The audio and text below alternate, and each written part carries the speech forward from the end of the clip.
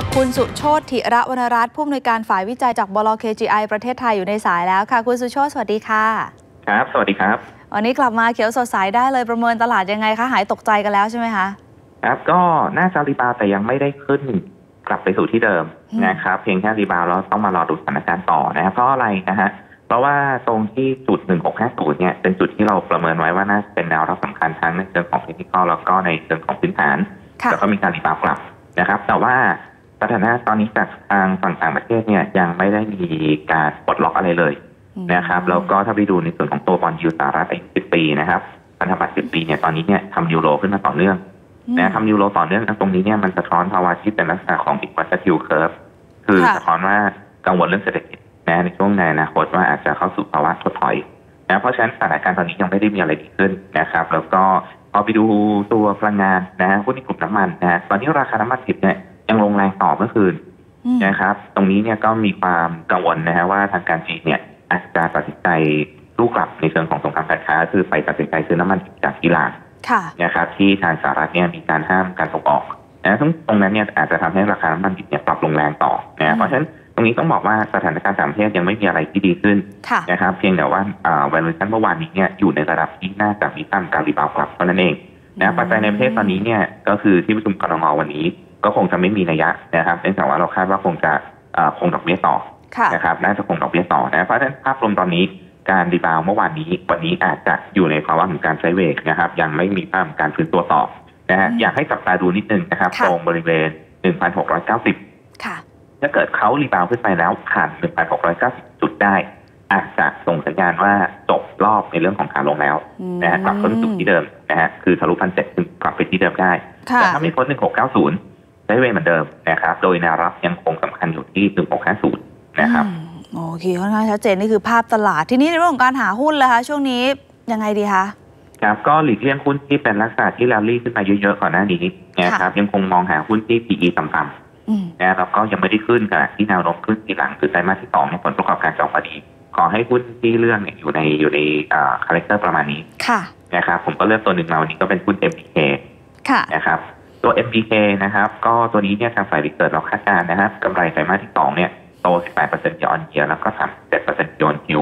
หลักๆเลยก็คือในส่วนของตัวไอคอนสยามเนี่ยค่าใช้จ่ายการตลาดน่าจะเริ่มกลับสู่ระดับปกติแล้วหลังจากที่ค่าใช้จ่ายเปิดโตค่อนข้างสูงในช่วงไตรมาสสี่แล้วก็ไตรมาสที่หนึ่งนะตอนนี้ก็อ่าค่าใช้จ่ายลดลงนะครับ แล้วก็ในช่วงครึ่งปีหลังนะครับจะมีการโอนโครงการอสังหาของเขาก็น่าจะทำให้ในช่วงของครึ่งปีหลังเนี่ยกำไรตัว MBK เนี่ยเติบโตถ้าเทียบกับอ่าครึ่งปีแรกได้อีก นะครับ อันนี้คือในมุมของกำไรนะฮะค่ะแล้วก็ในมุมของตัว PE ตอนนี้ PE 11.4 เท่านะครับ dividend yield 3.5%ก็ถือว่าเป็นหุ้นอยู่ในคลัสเตอร์ที่ผมเลือกก็คือกำไรไตรมาสสองดี ซึ่งปีหลังยังมีแนวโน้มติดต่อ แล้วก็ PE ไม่สูงนะครับ แล้วก็ลุ้นนะฮะในเรื่องของนโยบายกระตุ้นเศรษฐกิจภาครัฐนะครับ ที่กำลังจะอ่ามีการประกาศออกมานะครับอืมให้ในราส่วนคาของราคาเหมาะค่ะสมนะฮะก็อยู่ที่ 30 บาทสำหรับตัว FK นะครับ แล้วก็ถ้าจะมาดูในเชิงของเทคนิคนะฮะว่าแนวรับตรงไหนนะฮะแนวรับสำหรับวันนี้นะครับผมมองแนวรับเนี่ยอยู่ที่บริเวณ 23 บาทนะเป็นแนวรับนะครับแล้วก็ในส่วนของแนวต้านนะครับ มองไว้ที่บริเวณที่14บาทจนถึง 24.4 ในส่วนของจุด stop loss เพื่อผิดทางนะครับ ก็คือถ้าหลุดต่ำกว่า 22.4 นะครับ อืม โอเคได้ค่ะ คุณสุโชตวันนี้ขอบพระคุณมากสำหรับคำแนะนำค่ะ